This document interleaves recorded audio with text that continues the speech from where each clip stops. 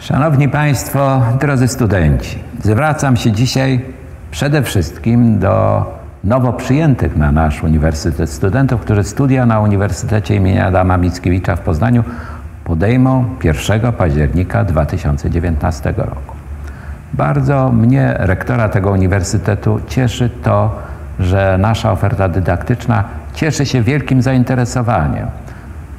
Ponad 25 tysięcy kandydatów zgłosiło się do komisji rekrutacyjnych i w związku z tym mogliśmy wypełniać limity, które poszczególne wydziały przyjęły dla studentów pierwszego roku. Witam wszystkich bardzo serdecznie i też nie mniej serdecznie życzę, ażeby studia, które rozpoczniecie, spełniły Wasze oczekiwania, by spełniły się Wasze marzenia, Wasze plany życiowe, a ze strony uczelni dołożymy starań, by studiowanie sprawiało Wam przyjemność. Do usłyszenia.